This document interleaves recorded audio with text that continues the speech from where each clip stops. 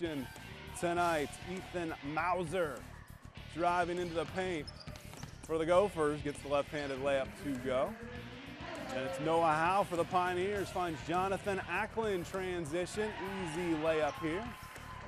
Brody Bowman, thousand point scorer, also knows how to pass, finds Dawson Draper, open wing three.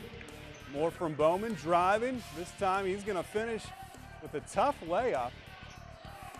Jaden Streets then for Ridgemont. Finds Carson James, corner three. And then it's Jordan Streets on the wing. And he's to drive and finish, but Temple Christian goes on the road tonight. And our final score has them winning 57 to 33. Brody Bowman, 24 points. So first, let's look at our standings.